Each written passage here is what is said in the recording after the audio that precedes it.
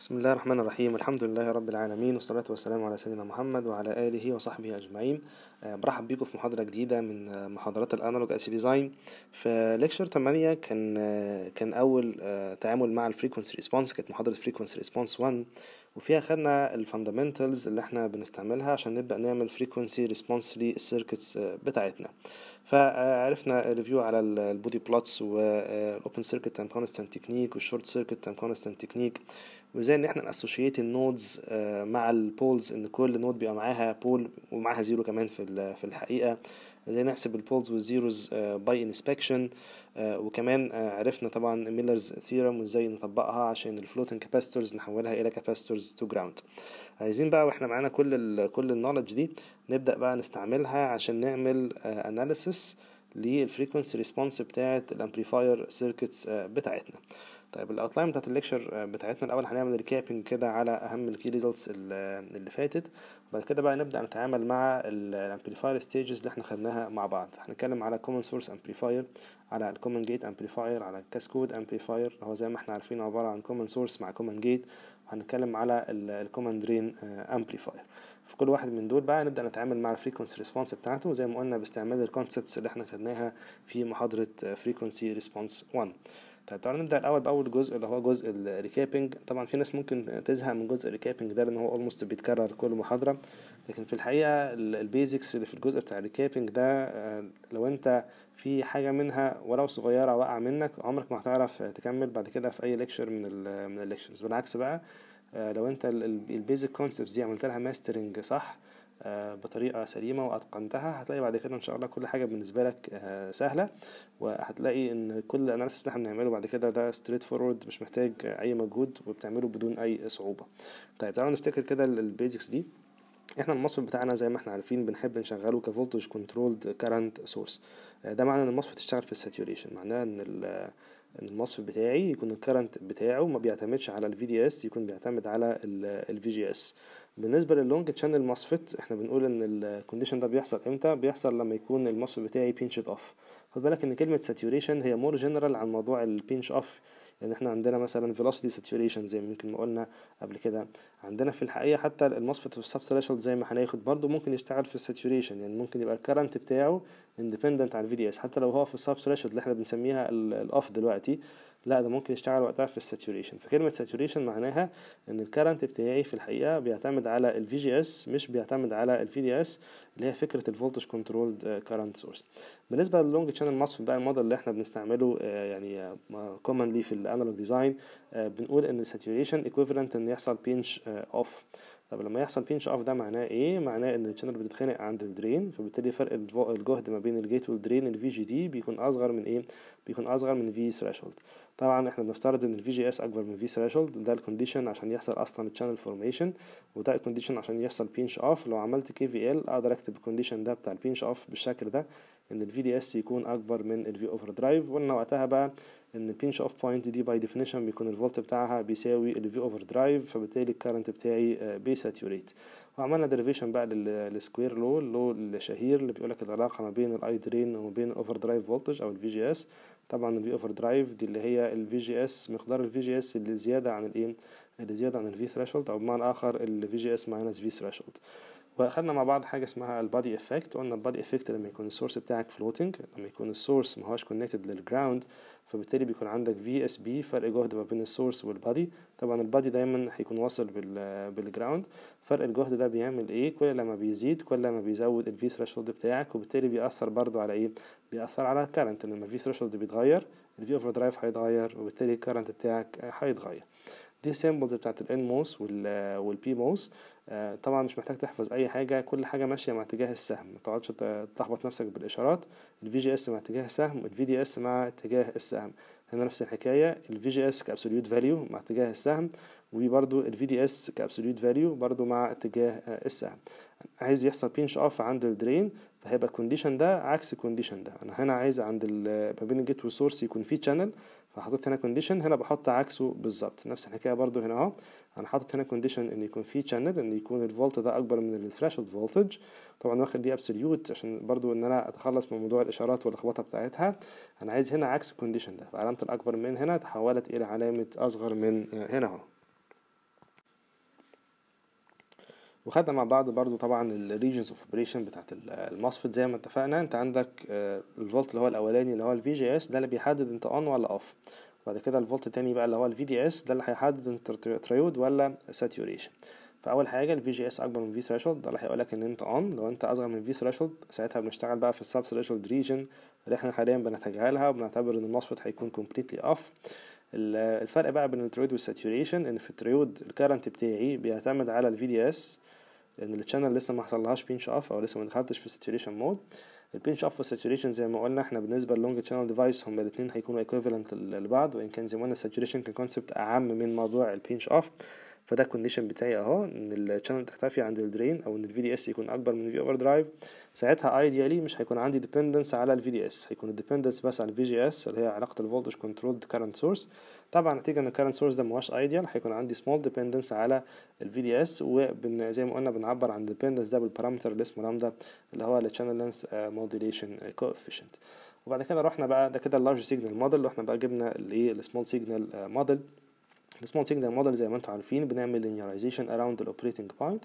فأهم parameter عندي هو ال transconductance اللي هو بيحكم لك ال relation ما بين الايه ال current والفولت بتوع ال voltage control current source ال current source بتاعي بيطلع لك current I drain بتحكم فيه عن طريق ال VGS partial I drain و partial VGS هو ده اللي هيديك ال transconductance transconductance بتحكم لك ال change في ال I drain لما يحصل change في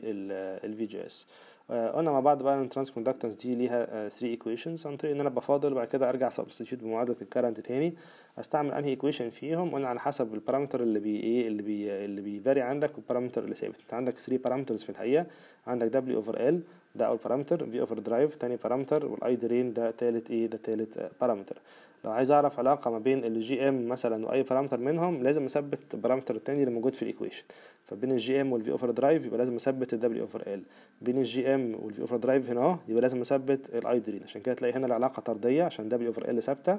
وهنا العلاقة عكسية مع ال V overdrive عشان I drain هي اللي هي ال ثابتة. نتيجة لل body effect بقى قلت إن بيكون عندي body transconductance بتظهر لك current source هنا parallel مع current source الرئيسي. طبعا ال current source الرئيسي اللي هو ال gm VGS هو ده كده أهو. وبيكون ال body transconductance دي بتبقى fraction من الايه ال main transconductance roughly كده from 10 to 25% زي ما قلنا بقى نتيجة لأن ال current source ده مهوش ideal بن model الكلام ده عن طريق output resistance اللي هي ال r node أو ال rds أو ال 1 over gds يعني هتلاقيها في ال simulations بتكتب لك جي دي اس طبعا جي دي اس ده مقلوب الايه مقلوب ال r node بتساوي إيه؟ بتساوي ال Early voltage على ال I drain ال Early voltage اللي هو مقلوب اللامدا اللي هي ال channel length modulation factor قلنا مع بعض قبل كده بقى إن ال Early voltage في الحقيقة ده ما هوش constant ده بيعتمد على ال channel length بتاع ال device كل ما بكبر ال channel length بيكون ال effect بتاعت ال channel length modulation less severe أو أي في الحقيقة drain dependence لل current بيكون less severe فبالتالي كل ما ال Early voltage بيكبر وطبعا لما ال Early voltage يكبر معناها r node أكبر معناها إن ال current source بتاعي ده هيبقى more ideal طبعا ال ideal case إن تكون r node بتساوي infinity العكس طبعا إن اللامدا هتكون inverse مع L لأن اللامدا هي ال inverse بتاع ال Early voltage في حاجة كمان بتأثر في ال Early voltage اللي هو ال VDS كل ما بكبر ال VDS كل ما ال Early voltage بيزيد ده معناه إيه؟ ان أنا لما ب drive الترانزستور بتاعي deeper into saturation ده بي بيكبر ال r node فبالتالي ال Early voltage بتاعي بيزيد. وشرحناها قبل كده بقى إن ال slope بتاع ال current بتاعك بيقل كل ما drive الترانزستور deeper into saturation. طبعا الموديل ده هو ال high frequency small signal model ليه بقول عليه ال high frequency إن أنا مدخل معايا بقى الايه ال capacitors اللي إحنا خدناها في المحاضرة اللي فاتت. ال capacitors دي عندي في الحقيقة ما بين كل two terminals من ال terminals بتاعه ال MOSFET فعندي ما بين ال gate وال bulk capacitance ما بين ال gate وال source ما بين ال source وال bulk ما بين ال gate وال drain إلا باستثناء two terminals بس هو اللي ما هما اللي ما عنديش ما بينهم capacitance إيه هما ال two terminals دول اللي ما عنديش ما بينهم capacitance اعمل كده pause وفكر لمدة دقيقة.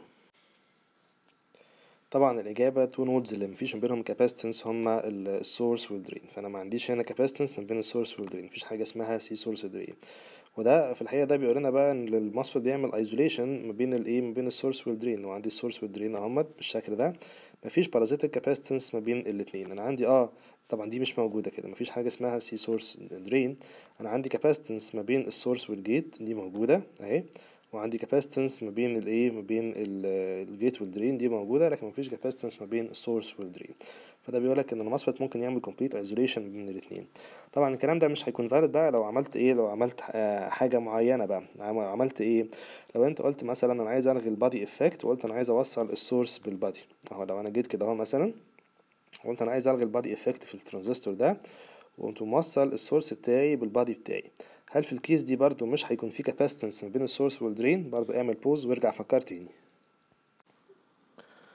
طبعا لما أوصل ال body بال source في في الحالة دي بقى هيكون في capacitance في الحقيقة ما بين ال drain وال source ليه؟ لأن أنا عارف إن أنا عندي already capacitance ما بين ال drain وال body أهو أنا عندي capacitance ما بين ال drain وال body بالشكل ده. ففي capacitance أهو C drain body ولما أوصل ال body بال source يبقى أنا كده وصلت الايه يبقى أنا كده في الحقيقة وصلت capacitance ما بين ال drain وال source طبعا في بعض ال applications ال capacitance دي بتكون مدمرة جدا فبالتالي ما أقدرش إن أنا في الحقيقة أوصل ال source بال body في كل الإيه؟ في كل الأحيان. طبعا ده زي ما قلنا ده هو ال CGS وده كده زي ما قلنا هو الإيه وده زي ما قلنا هو ال CGD فبالتالي لازم تكون آه، منتبه للموضوع ده إمتى أقدر أوصل ال source بال body وامتى ما أقدرش أوصل ال source بال body زي ما قلنا من عيوب إن أنا أوصل ال source بال body إن أنا هيبقى عندي في capacitance في الحقيقة ساعتها ما بين الإيه ما بين ال drain وال source فمش هقدر أعمل complete isolation ما بين ال source وال drain بتوع ال MOSFET خدنا مع بعض برضو في محاضرة ال capacitance بقى إن أنا لما بيكون في عندي channel فده بيخلي ال gate مش شايفة ال body تقريبا فده بيقلل قوي ال gate to body capacitance ونتيجة إن ال channel بتكون pinched off عند ال drain فبالتالي بتكون ال capacitance اللي تحت ال channel متوصلة في الحقيقة ال capacitance اللي مع ال- اللي مع ال channel اللي هي ما بين ال gate وال channel متوصلة بال source عشان كده بتكون ال CGS أكبر بكتير من ال CGD